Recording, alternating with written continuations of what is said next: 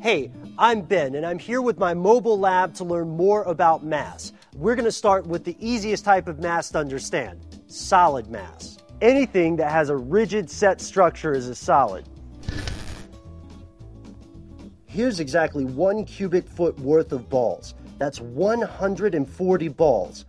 The Toyota Prius V can hold over 9,000 of these balls. That's quite a lot of balls. It's so many that if you were to drive around and give away one ball a minute, it would still take you more than six days to give away all your balls.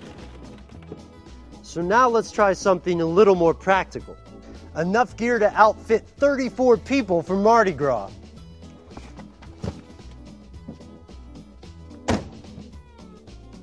This is my kitchen. I can do loads of experiments here.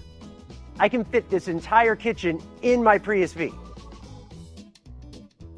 In each of these examples, the people, the balls, the kitchen, the objects obeyed the rules of solid matter. They retain a fixed volume or shape.